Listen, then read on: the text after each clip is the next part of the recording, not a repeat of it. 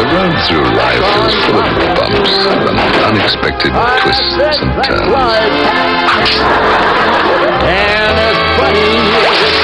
Toyota has always been committed to making the journey as smooth as possible.